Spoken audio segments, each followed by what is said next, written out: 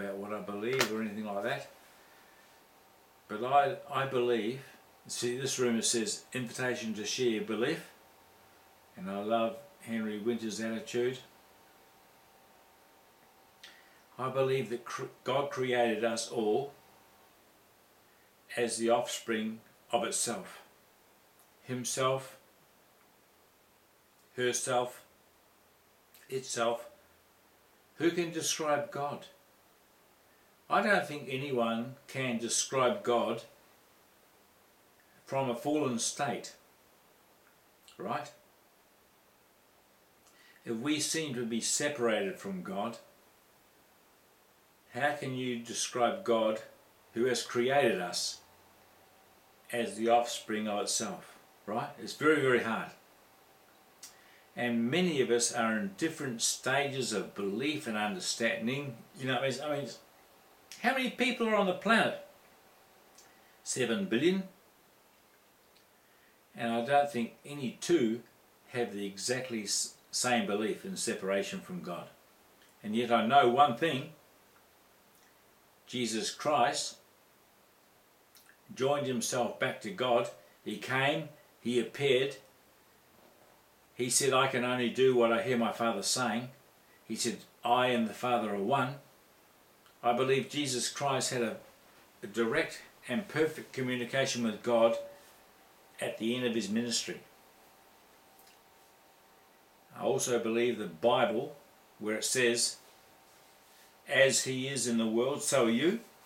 As he is, so are you. In other words, we all came from God too. We came from God too. Right? I believe that's true.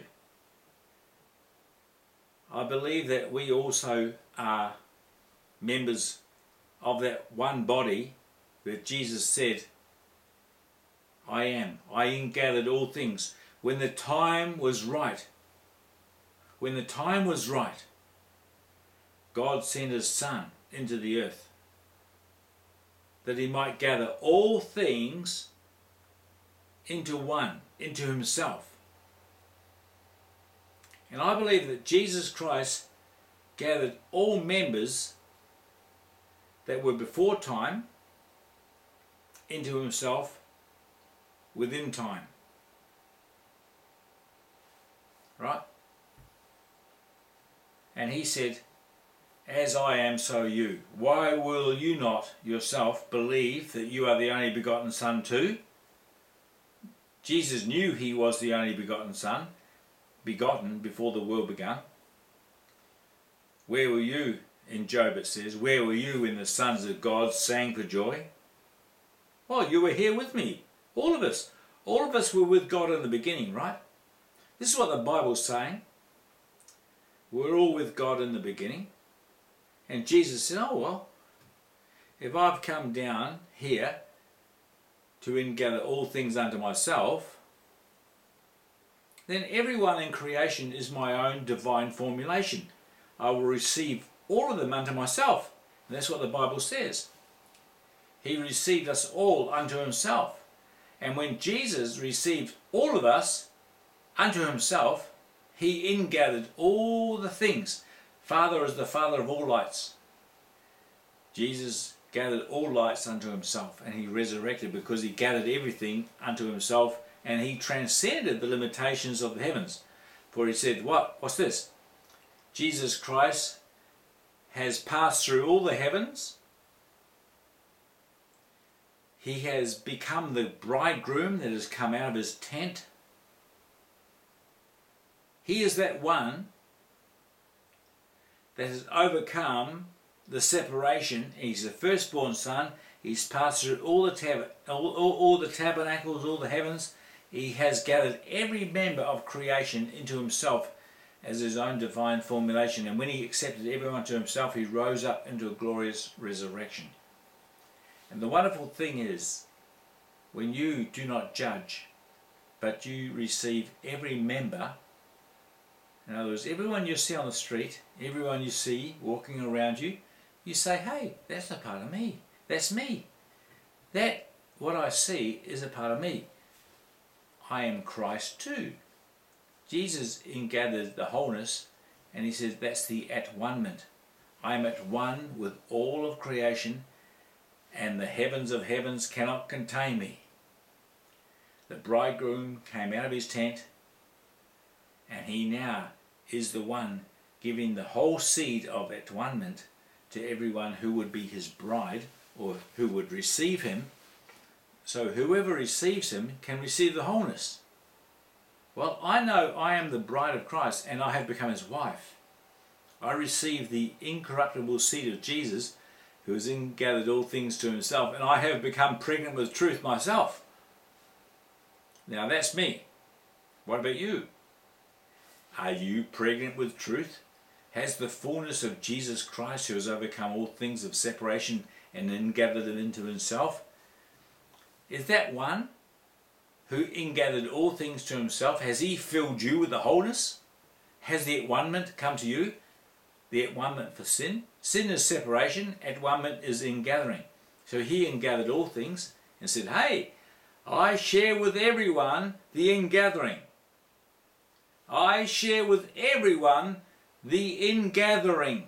I have ingathered all things to myself. I've risen above all things of this world. I've transcended this world. My Father and I are one. We are the same. And so is everyone. And when you realize this, your kingdom will come, right? It's amazing. And uh, I received Jesus as my Saviour because He said, As I am, so are you. And He says unto you too, who's listening here right now, so are you. You are also the ingathering because I share the at one-ment with you. Right? I shine forth the blood which is the plasma frequency radiation and emanation from the first creation into all space-time relationships, the emanation coordinates your being in divine order with what is given. God is the giver, you are the receiver, and you become one. The blood, the crystals, the crystalline structure. You, you look at the book of Revelation, God is living in a crystal temple. It's a crystalline structure of the blood, the emanation, the crystal communication of your being in space-time location. It's amazing grace. And uh, I can speak higher frequency and scientific notations on this kind of talk. But as far as the Bible is concerned, yes, Jesus overcame the world and he says, hey, I shine the light forth to you that you also can receive it within your own body form and overcome the world too. Right? You who believe the word. The word, the emanation, the divine pattern, the configuration, the electric magnetic communication of the whole expression of life. That's you. It's you. I know a lot about this that I can't speak in Christian rooms, but I speak in metaphysical kind of conditions. Hey, God is you. God is you. And you know that is so. You are God. God is you. You are the fullness of Him that fills all in all. Of His fullness you have received. You know this, right? You know this. It's wonderful. It's beautiful. I can speak this continuously. I know all about the metaphysical changes that are going on in the world and within you. How you are a multi-dimensional being. You're not just a single flesh body. No, you're far greater. It's wonderful. I, I can talk more about it. But uh, I want you all to know God loves you so because you are the offspring of the Almighty One. You are what God is in space-time. And when you renew your mind, you'll return to the life divine. Anyway, beautiful ones, I'm going to hand over the mic. I can speak like this continuously. I know all about the metaphysics. I know all about it all. I've studied it. Jesus is my teacher. Jesus Christ is my teacher and he also is your teacher when you set your mind on the spirit of love. Peace, joy, goodness, righteousness, truth, holiness, certainty, wonderful, beautiful. Everything God is, that's you. I want you to know that. I want you to know that God is you. God is you waking Himself as you in your space time location as your self identity. That you would realize the wholeness of your reality and extend the light of His glory into all of community. You are the wonderful one. And uh, I can't speak more highly of the living God because I'm speaking of me. God said He is me. He sent Himself as me. He sent Himself as you. He sent Himself to speak the gospel of truth, to emanate and radiate the light of His glory into all community, that they would see that they themselves are this one life. I want you to bear witness of the truth, said Jesus.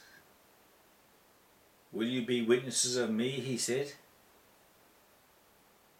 And eventually, through the ages, through prophets, priests, and sages, he revealed his mystery and dissolved the history and revealed that you too are the life of God, coming forth into manifestation in this space and time.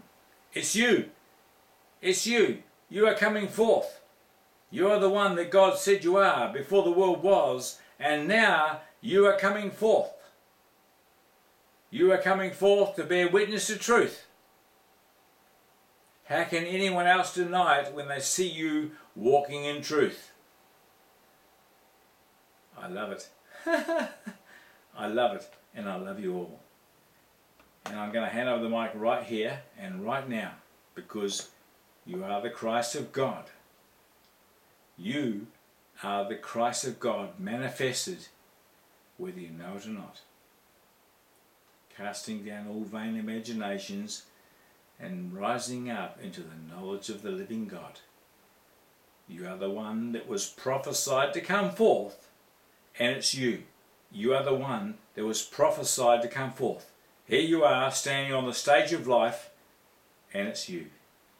It is you.